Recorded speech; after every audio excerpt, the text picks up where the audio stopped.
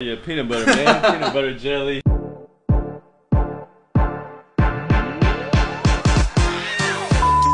man, welcome to my crib, man. Know, we ain't here. Got a little UFC going on right now, man. KB over here putting his highlight tape together. Going on, right, man. We just sitting here chilling, man.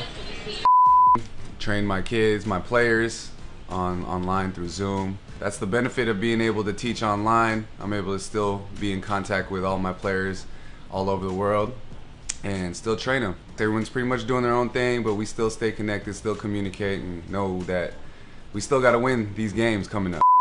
Uh, on our off days, you know, we like to get treatment, um, take care of our bodies, get a little bit of active recovery in, and, uh, you know, just kind of walk around here a little bit, go get some shots up. We both try to stay busy. We don't like to just sit in the room all day and uh, stay lazy. So, you know, just keep our bodies moving and active. Saba bananas, real good for you. Got some peanut butter, must have when you're on the road, traveling, some bread, some bougie chips right here, according to Franky, they're truffle flavor, so any truffle fans right here, these are pretty good taro chips. From my young bull right here, we got the goober for him, you know? Oh yeah, peanut butter, man. peanut butter jelly.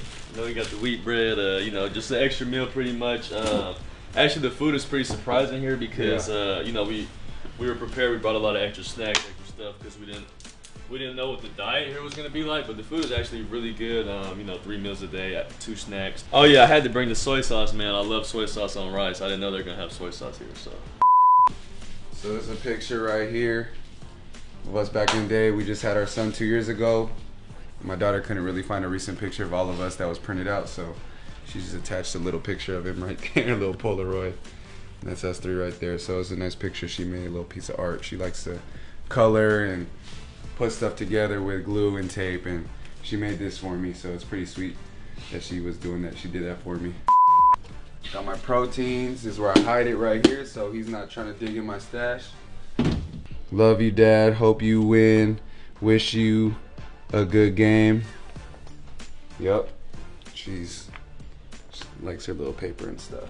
Creative Hoop Project shirt. My friend Chris Rosales, he made this t-shirt. It's pretty nice, creative stuff. She's been rocking my Align shirts, you know, every day. You know, ever since I've been here, I got back here in July. I was in the States.